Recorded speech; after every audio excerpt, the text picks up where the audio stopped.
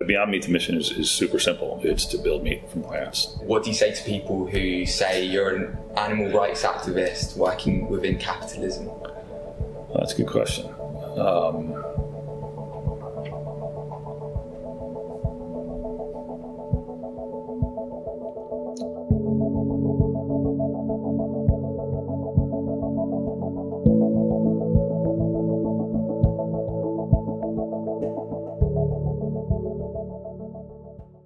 thank you so much sure. for doing the uh, the interview. Sure, I really really appreciate it. Can you tell me um, about the new relationship with Tyson Foods? Sure. You get right to the point. um, so it was an investment only at this point, uh, and it's something that was the outcome of about four years of discussion um, along the way. Um, so we um, initially were working with Hillshire Brands, which is a company they acquired um, and you know, from the beginning into today, the idea has been that um, you know we want to be part of the mainstream discussion in terms of protein at the center of the plate, and we don't want to be a, a niche uh, product. We want to get outside of the meat alternative case, where you know almost no mainstream consumer shops, and into the meat section, where you know the majority of people go for their protein. And in fact, to change the meat section from being about meat to being about protein. Um, and so, you know, you've seen a set of progress, uh, of um, deliberate steps uh, on behalf of, of uh, the company to, to to to get out of that niche and into the mainstream, get into the meat case, partner with a company like Tyson. All those things are part of the same goal. How do you get into a meat part of a store? Like legally, like right. logistically, has that been a, right. a barrier? You know, it's really interesting. The the um, this the so we tried to do that first in 2011 and 2012, and, and we just weren't ready. Our products weren't ready, um, and I don't think that the grocery store was ready either. And um, you know, so we, we kind of retrenched and, and went back and began much more uh, aggressive development around um, the basic idea of the company. And that the, the idea of the company is really that you can create a piece of meat directly from plants. Like that, that's the core of who we are as a company. Um, if you look at the composition of meat, that the answer becomes pretty clear. You know, it's, it's basically at a very high level. It's, it's fat, it's protein, and it's water. Maybe a little more amino acids, lipids, very small amount of carbohydrates, almost non-existent. You know, trace minerals, and then water. And all of those things can be sourced outside the animal, and they can be uh, placed in the same architecture that they are within in animal muscle or meat those things are knowable. You know, you can look at them in a textbook in animal agriculture. You can put a chicken breast in an MRI and, and begin to understand its structure. Uh, and so I think the days where you have to use an animal to create a piece of meat are rapidly uh, um, uh, diminishing. Um, and so, um, you know, we, we started with that with that, that that premise. Didn't have the products we needed to be able to get through into the meat case. And I think finally with this burger, we've gotten close enough to an animal protein equivalent that we sort of gain entry into that meat case. And, and, and so you know, our task now is to continue to make that better uh, so that we, we uh, can expand our offering. What criteria were you given uh, before you were able to do that? Right. It was more, um, it was uh, less organized than that in the sense that um, you, know, you, just kind of know when you know, like when it like so we initially had uh, to give an example one of the early meetings we had um, with meat buyers was here in Southern California, where we were a major supermarket chain.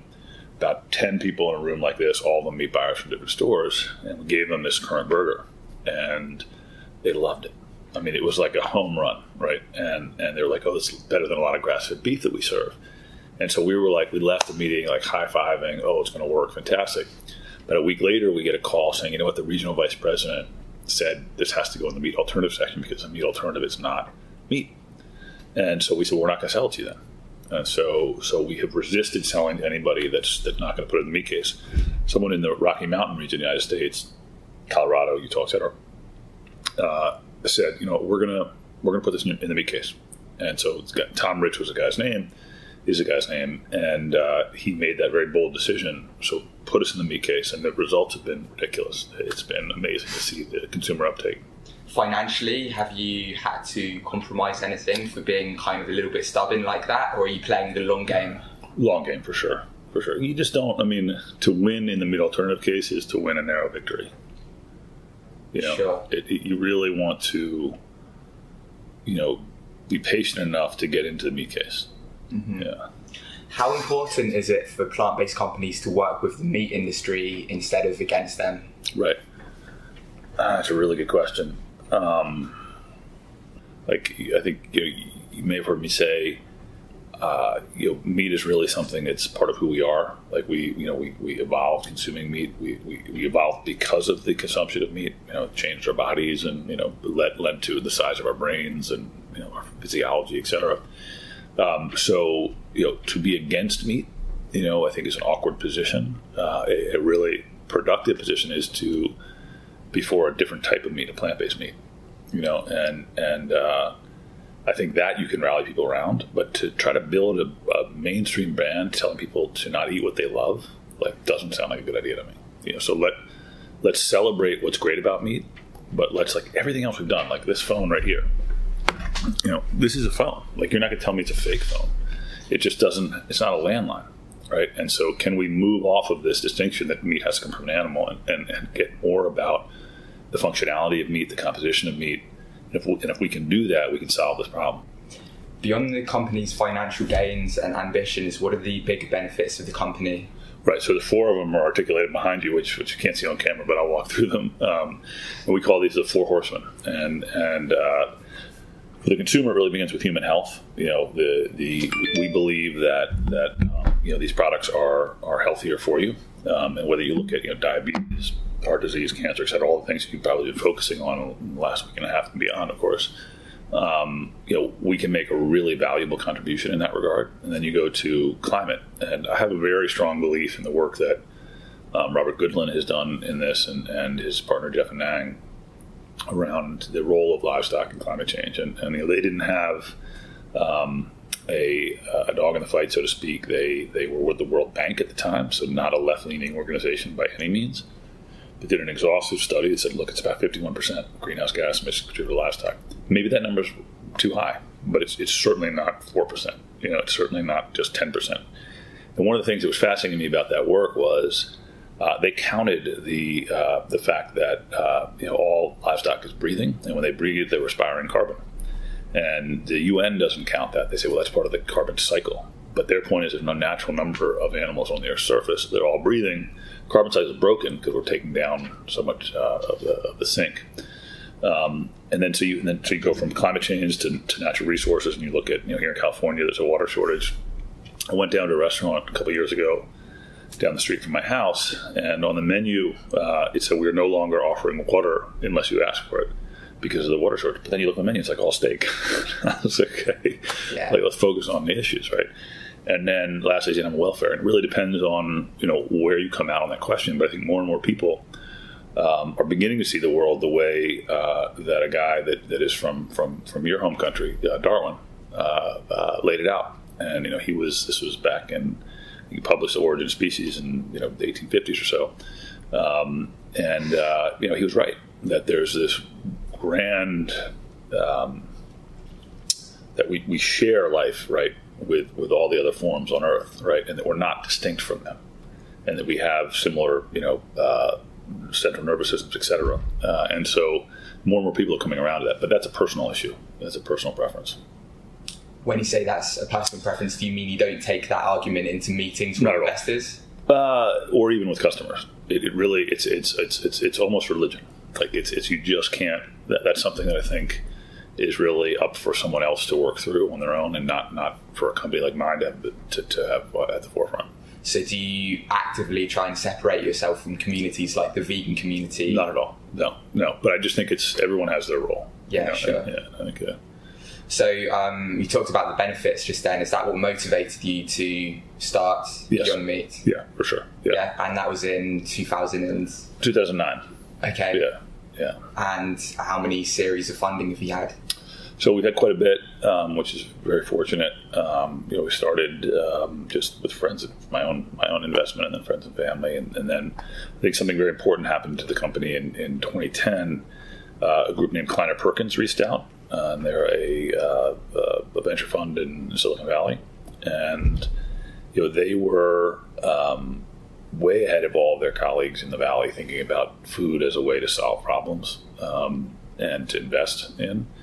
Um, and so a guy named Ray Lane and Amol Deshpande, uh, uh, two partners there, really stuck their neck out and said, you know, this is this is an idea that's worth pursuing. And it was controversial at the time, um, but they, they got behind the company, and Ray is still on the board today and, and an enormously important person within the company, um, and uh, and took the chance. Now, of course, there's a lot more stuff going on in the valley today, but back when they made that investment, it was pretty controversial, and they've stuck with us, and it's it made all the difference. Have you had any high profile people invest in your company, and do you think that's helped? Yeah, we've been very fortunate on that front. I mean, enormously uh, fortunate. Whether it's you know folks I just mentioned, Kleiner, um, to to Bill Gates, to um, to the founder of Twitter, uh, Biz and uh, Biz Stone and Evan Williams. Um, uh, all along the, the way, you see uh, really uh, interesting, constructive people getting involved. Seth Goldman, who's the founder of Honest Tea, um, uh, just the number of you know really important funds and, and, people have gotten behind what we're doing, and I think that's indicative of importance, right? It's not, I don't think it's anything particular about what we do. It's the idea, right, that you no longer need to use an animal to create a piece of meat. How do you how do you think about eliminating that bottleneck like you've thought about that hundreds of times, thousands of times in other industries? When you first started the company, was it were you thinking about getting those kind of people involved? Was it a strategic thing for you to get those people involved, and how did you do that? That's a good question. Um, I was thinking more about the outcome that I was seeking when I started the company. Um, I did I did have a plan to um, to approach uh, venture funds, um, uh, but um, you know I think like a lot of entrepreneurs entrepreneurs I was sort of just myopically focused on growing the business, and you know I, I think very much so that if you um, uh, dedicate yourself to to something that is a calling that and it's the right calling and it's something that, that benefits uh, something broader than yourself that amazing things will happen. You know that's been my experience anyway. And i think the, i think these people getting involved uh, reflect um, the power of the idea basically. So you focused on the business and you're saying the rest is kind of taking care of itself I think so. If you, if you do a good job uh, and, and sort of stay true to your mission and, and, and, you know think strategically and you know try to reward the investors, et cetera, I think really good people will come to, to support you. Uh, the former Irish president Mary Robinson recently uh, told the world it needs to move to a vegan diet in a recent speech. What kind of political support have Beyond Meat got? If That's any. That's a good question. Uh, I would say almost none. None. Yeah, I mean, I think the government uh, is in a tricky place on this one. Um, like like anything, I mean, they just they they have a lot of invested, um, you know, a lot of vested interests that that that are that are not aligned with what we're trying to do. Um, so I wouldn't say the government's a strong uh, source of support for us. Do you see that as a barrier with when? You- I think they should just. To my view on government is that they should level the playing field in this in this regard. It's not my political view more generally, but in this regard, level the playing field. Uh, in terms of subsidies, you mean everything? Yeah, yeah. Just get get get get rid of the things that are that are distorting the market uh, and allow us to compete. I mean, that's the biggest thing that they could do. Uh, we don't need a handout. We don't need uh, special treatment. But to just create a level playing field where we can compete is the right thing to do. When you look at the subsidies, uh, I don't have the numbers in, on the top of my head but they're massive. Lot of, a lot of money goes to subsidise the meat and dairy industry. Has that given you a massive headache in terms of trying to get your new products um, cheap enough to compete with those subsidised products? It's a great question. It does make it harder. It does. It does make it harder. And there's there's both the direct subsidies and then there's the externalities that just aren't accounted for. Um, you know, uh, all kinds of all kinds of things. Um, and so that does make it more difficult to compete. Um, but I think that the consumer interest in this is stronger than that. Like the consumer interest will like battle through that, and and we just have to stay really attuned to what the consumer wants. And it'd be better if those subsidies weren't there, um, but uh, it's not what keeps me up at night. When you say the consumer interest will drive your company, are you implying that you think consumer interests will change in the future as more people become aware of? It's amazing to me. I mean, I, I, I again, I, you know, it's it's I think it's far broader than anything we're doing. Um, but you know, we can't fill orders today. We have too much demand, um, and that was not the case five years ago. You know, it was it was much more of an uphill battle. Part of it is brand recognition, but part of it is the consumer is changing and changing very quickly. Like there's just so much more. I mean, how could they not? Like, there's so much more information out there. Like, I mean, you're in this field. Every six months, a new study comes out, says something positive about a plant-based diet, you know, uh, or or something comes out about climate and everything else. It's this perfect storm that's emerging around this idea, and I think we're the, we thankfully are in a place where we can benefit from it. Do you think there'll be a price decrease as uh, the population takes up plant-based meat alternatives? Absolutely. So the fact that we're selling today in the meat in the meat case at a price that's you know, roughly competitive with like let's say organic grass-fed beef. If, if you did a heat map, for example, of our facilities and those of like Perdue, for example, or or Cargill or something, we wouldn't even show up. Like we, you know, we'd be like an outhouse. You know? like, um, imagine as we start to get scale, what we can do. And it's like if you just think back to like a basic economics textbook, there's enormous inefficiency in the production model with animal agriculture. We don't have that inefficiency. We have gotten, you know, if you think about that value chain, there's there's something that, that is is using a tremendous amount of resources to produce the same output that we can produce with far less. We should be cheaper. When you go to investors and uh, meetings in that realm, what's the main marker of your success? Do you talk about how many products you've sold, or do you talk about how well your products mimic real meat? Um, so I think I'm the first to say that our products aren't there yet. I mean, I think they're they're good. I think that the the one that we have released today, uh, this Beyond Burger, is the best thing we've ever done. Um, I think the earlier products reflect the best that we could do at the time, um, but you know, we have to be relentless in our pursuit of the the um, the structure of meat, the the mouthfeel, the sensory experience of meat, and and you know, we'll get there for sure. I mean, and I joke with the scientists here that it's a lifetime employment project for them. Like we've been consuming meat, you know, as humans and as our predecessors for about two million years.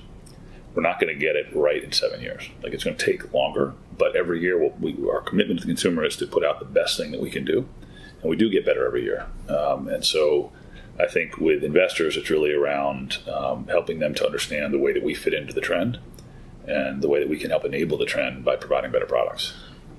I was going to get onto the Beyond Beyond Burger. Sure. You mentioned it. Yeah. Let's talk about that. Sure. I'm, i love this burger. I'm, I'm, really excited about it. Um, it's uh, it's um, I'm just very proud of the people that did it. Uh, you know, there's a group of scientists here that, that we uh, we have a center here called the Manhattan Beach Project, which is because it's near Manhattan Beach, but also uh, we named it that because we wanted to um, instill within them the understanding that what they're doing has global significance. We wanted to instill within them the understanding that they we felt that and feel that they are the brightest scientists that can be working on this problem, and they're from you know, the best schools. They're from all over the world, um, and that there's a global and urgent nature to what they're doing. And this, you know, this Beyond Burger, I think, is the first product that really is the outgrowth of that center. And you know, I think what, what excites me about it, you know, one is the response has been great, which is really really nice. Um, we've sold out. I was just talking to our sales guy. You know, we're rivaling organic grass-fed beef right now in, in terms of movement uh, in, in, certain stores. Um, what do you mean by that in terms of movement? just like u- units per week, things like that. Like so, in the stores where we're selling. So the whole idea was to get into the meat case where the consumer can make the right choice. You know, do I want uh, plant-based meat or an animal-based meat? We're seeing that uh, that consumers are buying this at a clip at a rate that is uh, equal to or exceeding grass-fed beef in certain in certain locations. We launched in I can't give the numbers, but we just launched in the center city, Philadelphia.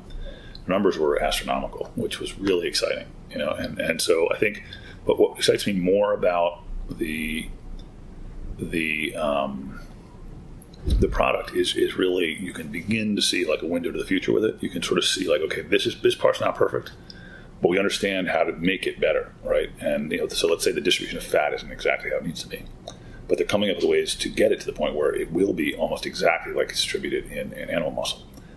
So that to me is really exciting. Yeah, you've always been really confident about that. What gives you that confidence? Obviously, it helps your marketing by being confident and saying we are going to get there. Right. But do you honestly think you will, and how do you know that? Yeah, um, no, I mean it's an absolute foundational belief. Like uh, it's um, because there's no. I mean, so we're not going to put we're not going to make a plant based cholesterol, right? And that's not really even possible. But but um, but all of the things that really contribute to the sensory experience of meat we can drive from plants. And so I guess I have the confidence because I've just seen it. You know, and we can't do everything at scale that we can do in our lab. Um, but the, I think the way to think about it is that we've seen no material obstacle to doing it. Eric Schmidt recently came out and ranked plant-based meat as the most important trend in tech, beating right. things like 3D printing, self-driving cars, and virtual reality. Right. He said it was the most important trend in tech. As somebody who works in this industry, do you what get was that, the second one? Do you get that sense? The second one was self-driving. Yeah, so the things like virtual reality, right. self-driving cars, artificial intelligence. Right, okay, got it. Okay, okay. Um, do you get the sense of the importance of this industry, of this this industry, having worked in it? Yeah, I do. I mean, I think he's right on the. I mean, I don't know about the other stuff, but but on on the plant based side, um, I can't think of anything. And one of the things that motivates me so much about the company, and I think our investors, is literally as a, as a mental exercise when you're flying back to the UK or whatever. Think about this: like, what single change we make that simultaneously attacks all four of those all, four of those issues: human health, climate, natural resource, animal welfare? Than this, like, what's more important than doing this? if you want to attack all four of those things at once. I've never seen anything in my life where you can make such an impact by focusing on one thing like that to me. So I worked in fuel cells, for example, before. Great technology, will be here someday. Uh, really good for, for climate, right? But imagine being able to do something that's really good for climate and good for human health. Like that's really exciting. What's your relationship like with companies such as uh, Impossible Foods? You know, Pat's Pat's uh, a really good guy um, and uh, someone I respect a lot, and I know him you know, personally. We've had lunch and things like that, and been on panels together, and um, a panel together, uh, and talk on the phone. Have in the past. Um, so you know, I, I, just it's a two billion dollar, two hundred billion dollar industry here in the United States. Uh, so there's plenty of room, and I think that the more people out there doing this, probably the better. I mean, sure, we're competitive. Um, how could you not be? But but I think we're both pulling for each other, um, and uh, we take we're taking different approaches too. So it'll be very interesting to see how the market reacts. What's your relationship uh, like with companies like Hampton Creek? Do you know Josh Tetrick? Um, yeah, I, do know him. I do know him. Uh, I know Josh Balk a, a lot better um, and, and, think very highly of Josh Balk. I don't know Tetrick well. Do you feel like uh, there's any way you guys can further all of your companies if you work together? You know, there's just so much going on here.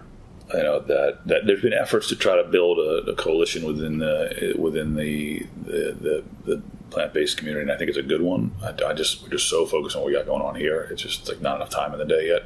But ultimately, yeah, would it be good to have like a um, you know, I mean, the Got Milk campaign for example came out of the Milk Board. Would it be good to have something like that? Yeah, absolutely. Um, but I think you know there's a time for that. Uh, let's talk about lab grown meats. Do you think these are like pie in the sky distraction? No, no. I, I, I had recently the opportunity to to spend some time. Um, with the uh, gentleman who runs uh, Memphis Meat, uh, who I think highly of. Um, I don't think it's traction at all. I looked at that technology a lot in the mid 2000s uh, and before I started this company. And I'd come from, as I mentioned, from you know clean tech for energy, and I was hesitant about getting involved in something else where I couldn't see a clear path to commercialization. I think they will commercialize it, but I didn't. You know, I've, I've often said like technology is like no regard for your career. It's going to be ready when it's ready, and I didn't want to get involved in something that that couldn't contribute in my lifetime to what I was trying to do. I think they'll figure it out, and I, have heard the sort of five years out, that type of thing, um, and I welcome that. I think it'll be interesting. You say you welcome that. Do you not see it as a threat to your business? No, not really. Why not?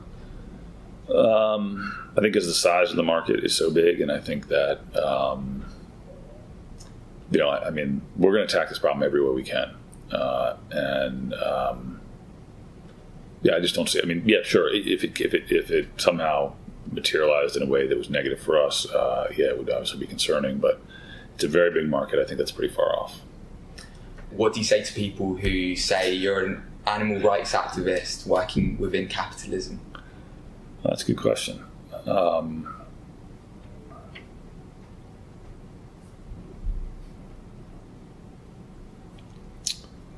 that's a really good question. Uh,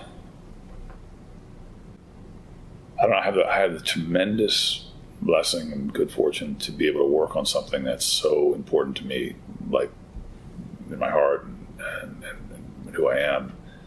Um, I don't think of myself in those terms really. I just think of someone. I mean, I'm not trying to be skirt the question. Like I just think about someone who's trying to get something done, um, and people need to eat food and they need to eat protein. And um, I think that it would be amazing to be part of a generation that is the first to separate meat from animals. And that, I mean, that, that's the, the, the level at which I think about it.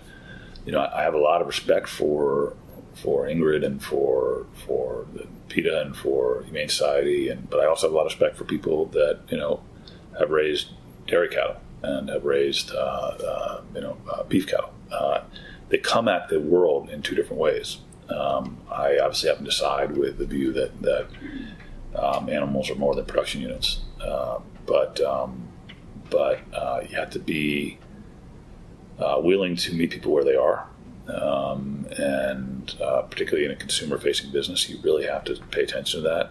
Um, and I'd like to innovate our way out of the problem. I'd like to have our cake and eat it too, so to speak. I'd like to create meat from plants and, and retire this debate, basically.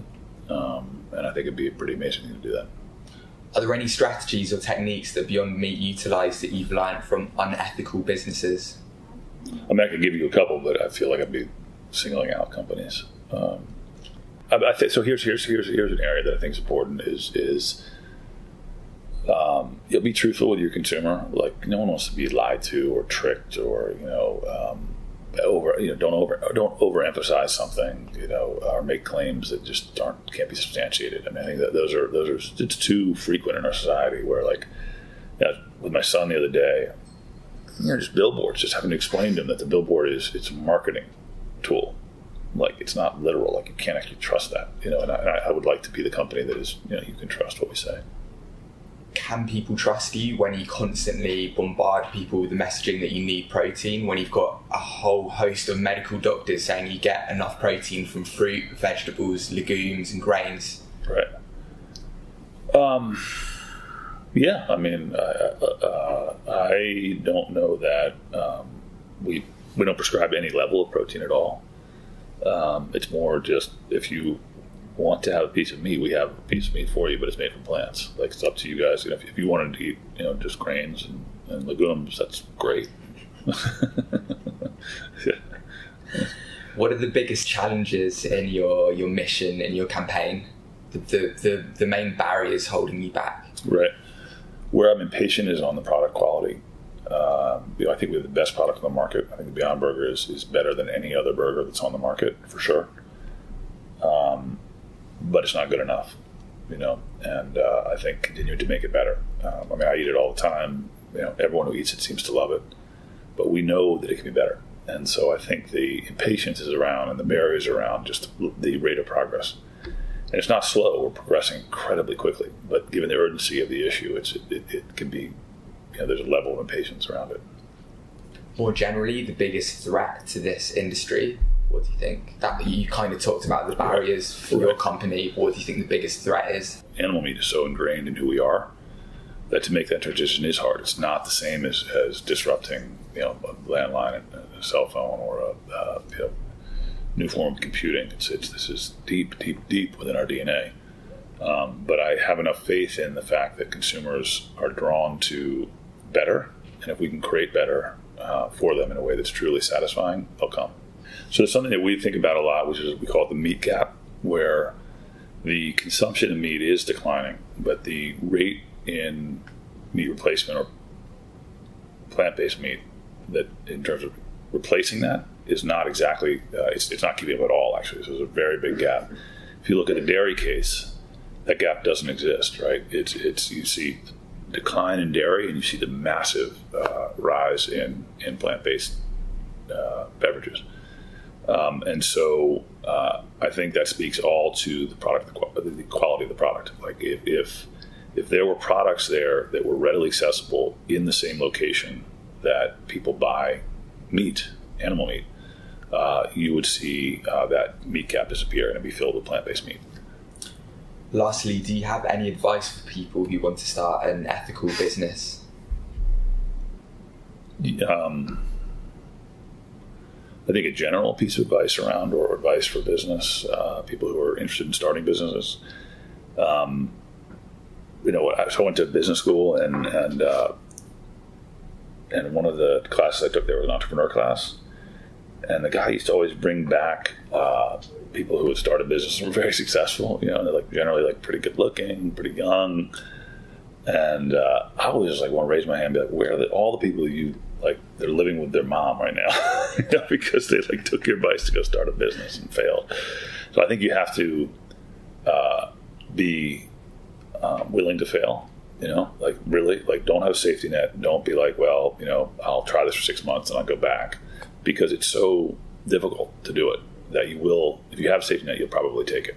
Right. And so for me, I initially had, you know, I won't spend this account, I won't sell this house, you know, I always have it, and I just got rid of all that. Like I, you had to go through it, you know. And so at some point, you have to be successful. You have no other choice. And so to to make sure that you care enough about what you're doing, that you're willing to do things that you know, when you began you weren't sure you would be willing to do.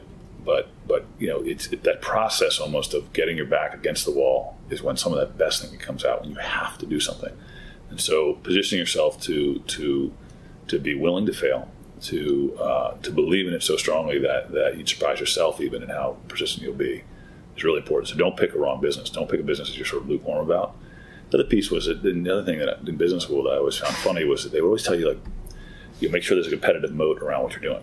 Like don't go into something where other people are are are um, know, there's a lot of other other competition. I just don't believe that. Like I think if you have if you have a strong enough idea and you're willing to be better than anybody else, you can ent- enter the most crowded field possible. Um, and you know the examples of that are everywhere. Um, so don't be shy if you have a vision and you have a calling for it. You know, go for it.